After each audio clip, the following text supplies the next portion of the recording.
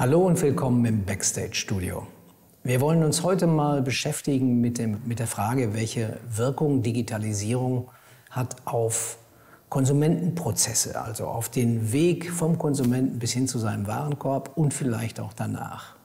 Wir wissen, dass Digitalisierung ja viele Facetten hat, vom Gaming über Unterhaltung im Sinne von äh, Video oder TV bis hin zu, zu Vereinfachungsprozessen über Apps. Ähm, dazu habe ich eine Expertin hier im Studio, die Katharina Aguilar, mit der wir uns da sehr intensiv darüber unterhalten wollen. Hallo Katharina. Hallo Jens. Vielleicht äh, stellst du dich einfach mal selbst kurz vor? Ja, sehr gerne. Ja, ich bin äh, Unternehmerin, ich habe zwei Firmen und nebenher bin ich noch Speakerin und Moderatorin. Und alles, was ich tue, dreht sich, wenn man es vereinfacht sagen möchte, um die Verschmelzung analoger und digitaler Welt. Und ich arbeite mit Unternehmen jeder Größe und jeder Fasson immer im B2B-Bereich zusammen, um zu beantworten, wie verändert sich das Verhalten eurer Kunden und Konsumenten und wie können wir euch helfen, oft eure Räumlichkeiten, also einen Shop, eine Mall oder gar ein Museum, aber auch die Prozesse der Customer Journey innovativ gestalten. Ich finde das ein höchst spannendes Thema. Ich fange mal mit etwas an, was ein bisschen leichtgängiger ist. Ich habe mhm. noch ein sehr absurdes äh, Beispiel oder auf den ersten Blick jedenfalls absurdes Beispiel noch für später im äh, Köcher. Aber äh, ich habe äh, jetzt gerade einen Vortrag von dir gehört und da sprachst du von etwas, was mich sehr fasziniert hat, nämlich von der, was war es, Multiple Personality? Persona? Liquid, Liquid Personality, ja. Kannst du das mal erklären? Ich ja. finde es ein faszinierendes Konzept. Sehr gerne. Also ganz typisch beschäftigen sich ja Leute, die was an Konsumenten bringen wollen mit, dem, mit der Frage nach der Zielgruppe. Und wir kennen ja so die klassischen Sinus-Milieus, die konservative Mitte und der avantgardistische Digital Native und wie sie alle heißen. Und ähm, neue Konzepte, die jetzt auch inzwischen jeder kennt, äh, sagen Gen X, Y, Z, Millennials, Babyboomers. Und ähm, das Thema ist, dass wir dabei immer Menschen in Schubladen stecken, die ihnen am Ende ganz und gar nicht gerecht werden. Und das neue, dieses Thema der Liquid Personality, das habe ich nicht erfunden. Ich habe es irgendwo mal gelesen. Ähm, uns hat mich sehr angesprochen und seitdem verwende ich es besagt, dass wir in uns ständig unsere Präferenzen auch verändern und mal gerne jetzt, um im Thema Urlaub zu sprechen, einen Campingurlaub im Zelt machen äh, und eine Woche später aber auch wirklich gerne in einem Fünf-Sterne-Resort einchecken. Und wenn du das in einem ähm, Sinusmilieu betrachtet hättest, wärst du in zwei komplett unterschiedlichen Zielgruppen gelandet, die überhaupt nicht miteinander funktionieren. Die Realität ist aber, dass ich ständig äh, in Bewegung bin und dynamisch meine Präferenzen verändere. Das heißt, im Marketing oder in der Werbung müsste man tatsächlich komplett anders denken. Ich will nicht sagen neu denken, aber anders denken im ja. Sinne von, ich orientiere mich nicht auf eine bestimmte Typologie, mhm. auf Stereotypen, sondern ich fokussiere mehr auf Situationen. Ja. Und in diesen Situationen ähm, wäre dann natürlich die logische Frage, ähm, habe ich dann als Werber, als Marketer, als Kommunikationsmensch die Chance, neue Impulse zu setzen? Ja. Wenn ja, wie kann das aussehen? Ja, das ist ein hochkomplexes Thema und ähm, ein, eine Firma, die das schon ganz wahnsinnig toll macht, die das aber so unmerklich gemacht hat, dass uns gar nicht klar ist, wie intelligent deren Technologie ist, ist zum Beispiel Spotify. Spotify kennt 1a unseren Musikgeschmack. Und zwar, weil wir so viel mit Spotify schon interagiert haben, an unterschiedlichen Tageszeiten, in unterschiedlichen Stimmungen, zu unterschiedlichen Jahreszeiten, dass äh, wir immer wieder unsere Präferenzen abgeben, indem wir Musik suchen, speichern, teilen. Und Spotify hat über Jahre hinweg gelernt, was wir lieben und wann wir es lieben und schlägt es uns immer besser und immer zielgenauer vor. Und das sehr erfolgreich, ohne dass wir es merken. Und das ist so ein Beispiel, was sich in ganz vielen unterschiedlichen Bereichen in Zukunft wiederfinden wird, weil es technisch immer besser und einfacher möglich ist und diese Profilierung einer einzelnen Person stattfindet im Vergleich dazu, dass die Profilierung in einer sehr, sehr großen Zielgruppe, die dir am Ende gar nicht gerecht wird, ähm, stattfindet. Ich glaube, da haben sich sehr viele Felder aufgemacht, mhm. die auf den ersten Blick sich zumindest nicht anbieten. Ja, also ich habe neulich, äh, war ich in einem Vortrag, ist noch nicht so lange her, hm, da wurde zum Beispiel gesagt, dass mittlerweile 80 Prozent der Smartphone, Tablet, PC-Nutzer auch spielen. Mhm.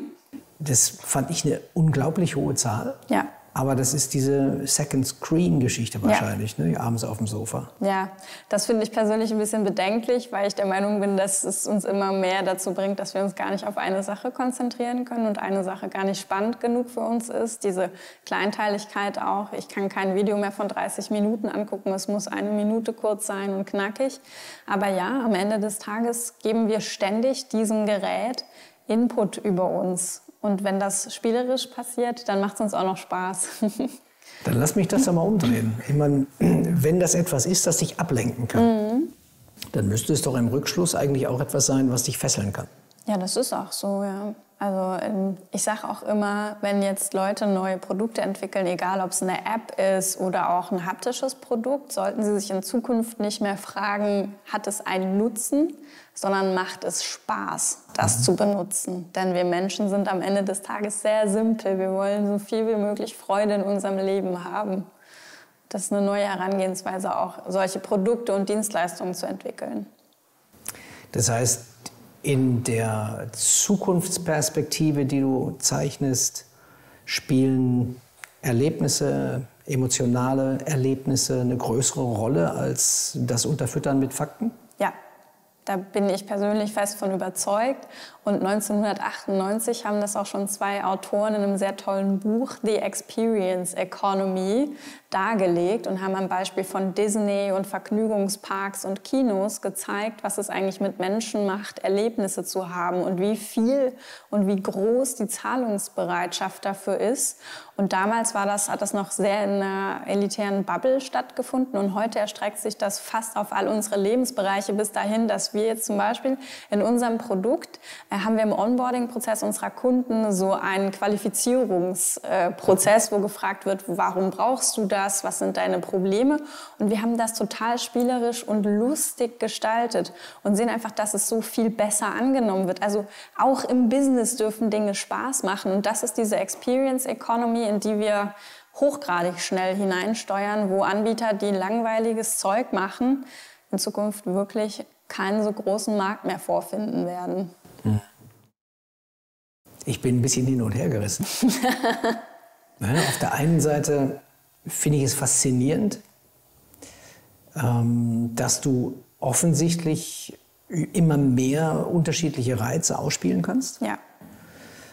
Ähm, ich weiß nicht, ob ich das bei dir irgendwo gehört habe oder ob ich es mal gelesen habe, ähm, dass äh, Ausstellungskonzepte mittlerweile dazu übergehen oder versuchen, ähm, die Stimmung deines Gegenübers aufzunehmen, mhm. um dann entsprechend etwas anderes zu zeigen. Ja.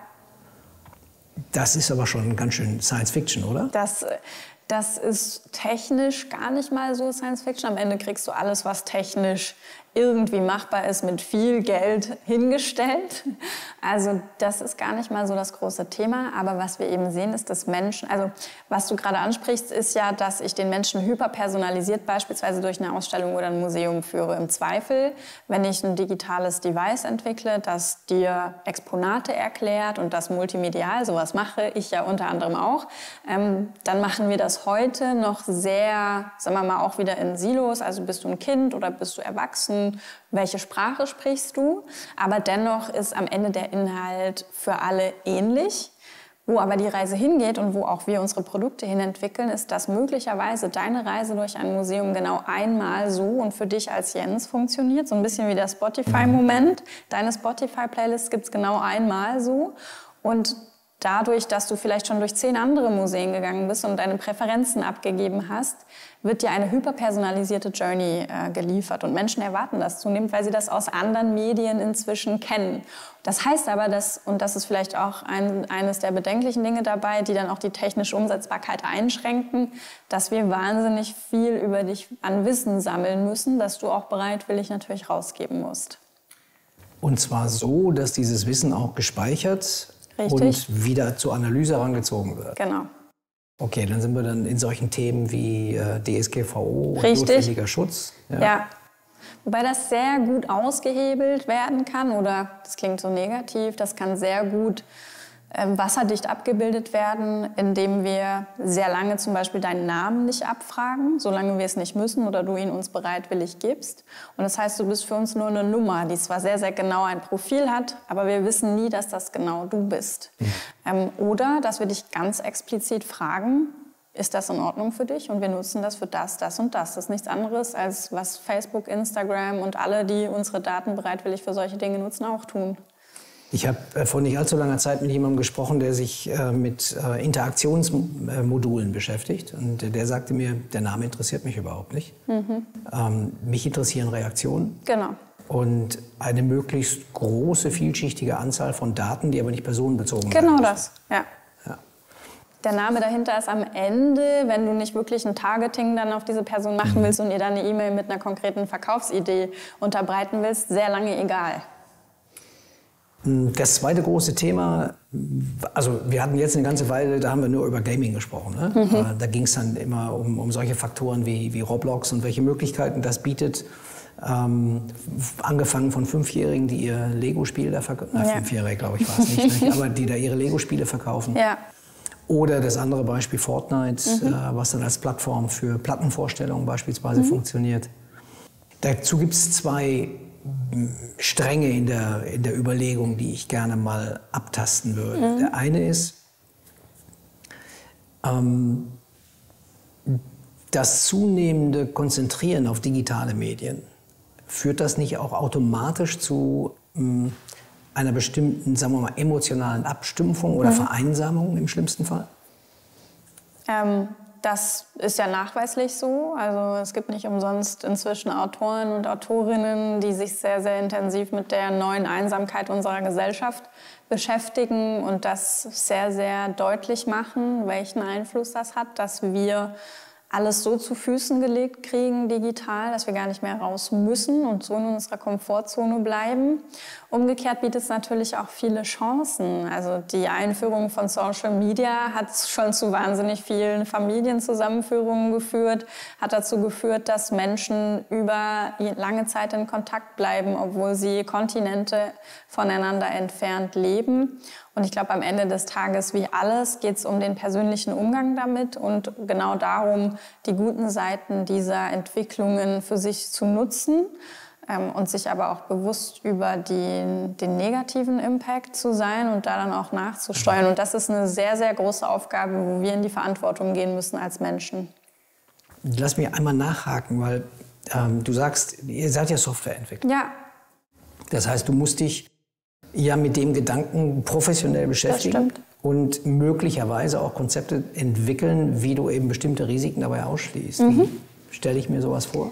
Also ich sag mal, unser großer Vorteil ist, dass unsere Software explizit dazu ausgelegt ist, dass Menschen, wir sagen, wir sind das Metaverse Reverse, also dass Menschen nicht zu Hause in zehn Jahren mit einer VR-Brille sitzen und alles dort erleben und total verkümmern, sondern dass wir ihnen mit digitaler Hilfe die Rampe legen, in die Realität zu gehen und dort neue Dinge zu erkunden. Und deshalb bin ich jetzt mal so frech zu behaupten, dass unsere Idee in sich schon der Gegenentwurf ist zu vielen anderen Dingen und gleichzeitig ein großes Problem löst, nämlich dass die analoge Welt sehr langweilig wird im Vergleich zur digitalen Welt. Und wir wollen genau diese Brücke bauen zwischen beiden Welten. Und da uns die, die reale Welt so wichtig ist, dass wir eigentlich ihr nur helfen wollen, denken wir mit jedem Feature, das wir entwickeln, darüber nach, wie passiert die ideale Verknüpfung, sodass in dem Moment, wo es dann aber auch was in der echten Welt zu erleben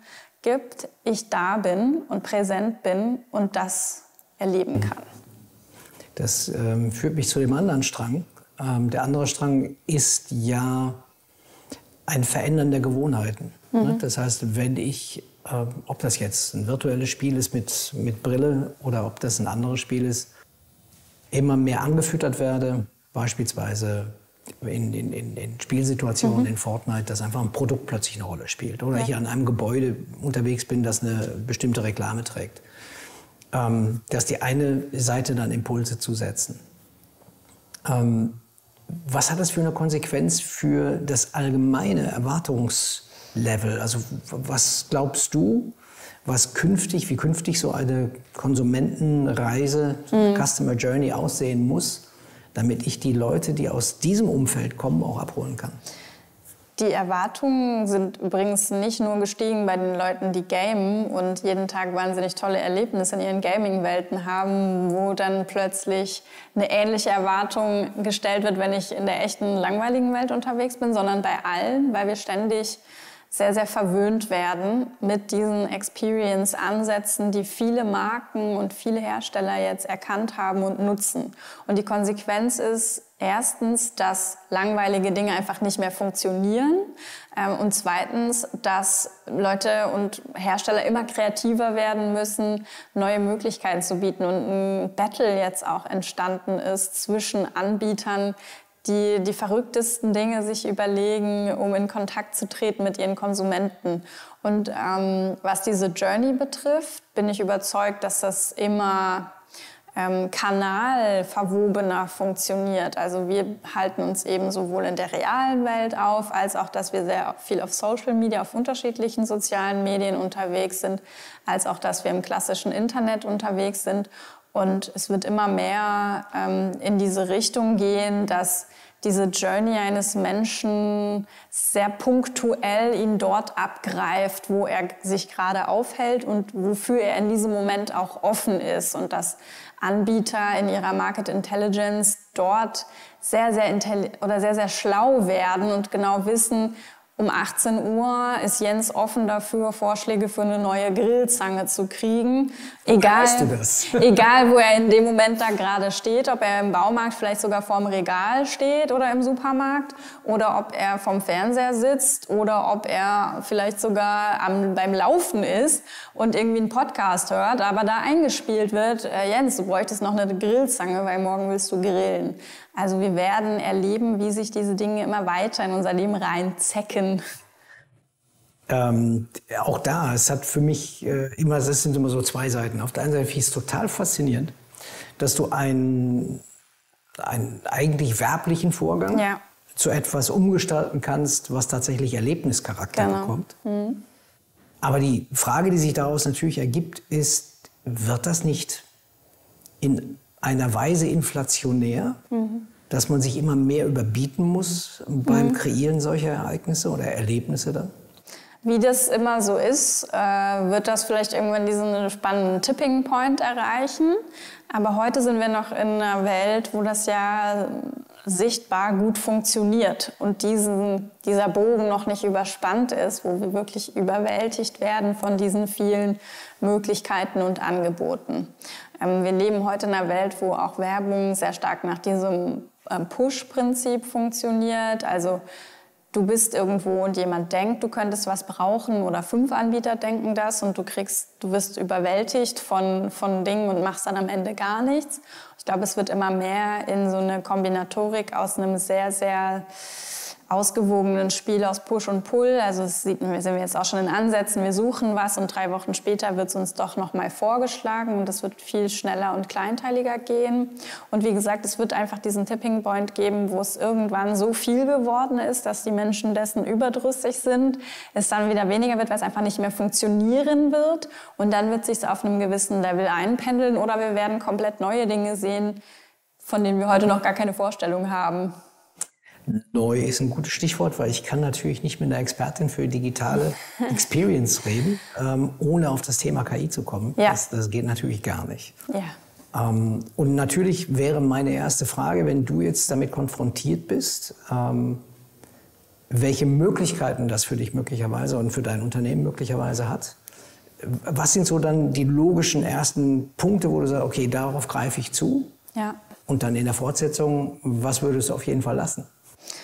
Ähm, also was ich, was wir heute schon tun, ist dadurch, dass unser, unsere Dienstleistung, unsere Software sehr, sehr abhängig ist von Kreativität und auch gutem Inhalt, dass wir viel mit generativer KI, also Generative AI, arbeiten und da gar nichts Eigenes entwickeln oder nutzen, sondern eben ganz viel Anbieter äh, kennenlernen und für uns wirklich oder begeistert werden, sei es die Herstellung von Tonspuren aus Texten in verschiedensten Sprachen, in verschiedentlich auswählbaren Stimmen, wo man früher für ins Tonstudio gehen musste, über die Erstellung von kreativen Bildern, wo man aus einem Text ein Bild macht oder gar ein Video, ein 3D-Modell, das sich dreht, Grundrisse.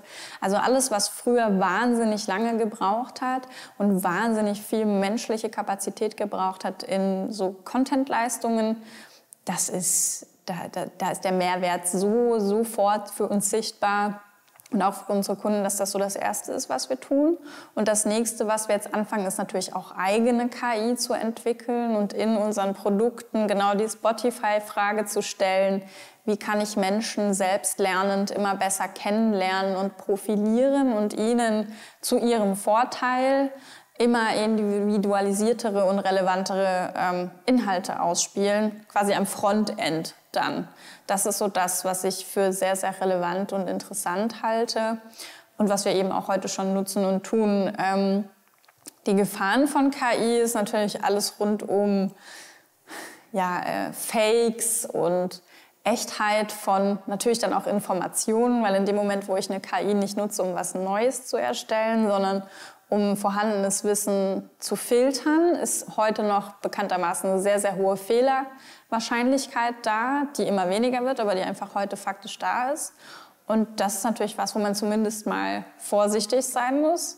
Und wenn man jetzt in Utopien sprechen will und weiß, in welchen Industrien überall, nämlich in allen, gerade an KI gearbeitet wird und verstanden hat, dass KI natürlich irgendwann mal das Ziel hat, menschliches Verhalten bestmöglich zu imitieren oder zu übertreffen und Entscheidungen zu treffen, wie beim autonomen Fahren, ähm, dann kann man auch Angst kriegen, weil man Technologie ja sehr, sehr viel Verantwortung abgibt.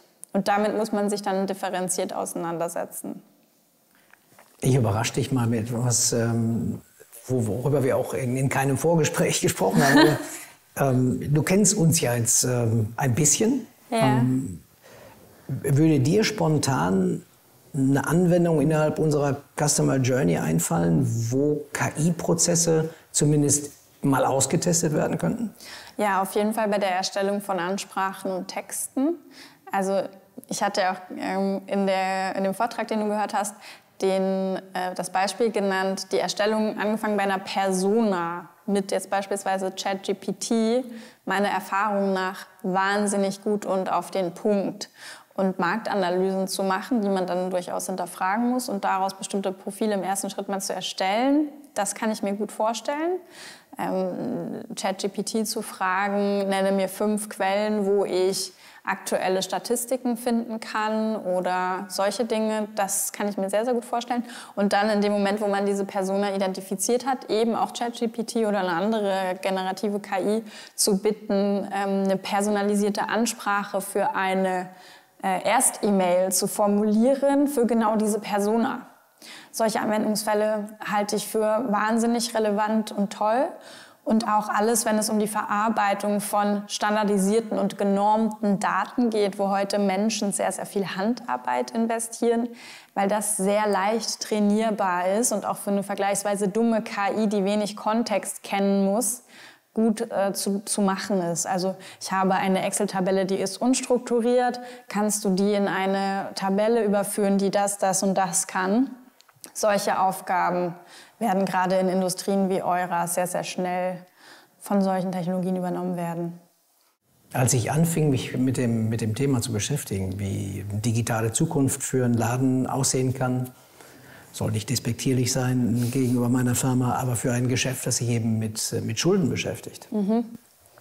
Ähm, da sprang relativ schnell so ein, so ein Bild in meinem Kopf hoch, ähm, wie jemand, der etwas einkaufen will in einem Online-Shop, in dem Moment, wo er den Warenkorb oder sie den Warenkorb bedient, ähm, so gewissermaßen Engelchen und Teufelchen auf die mhm. Schulter bekommt.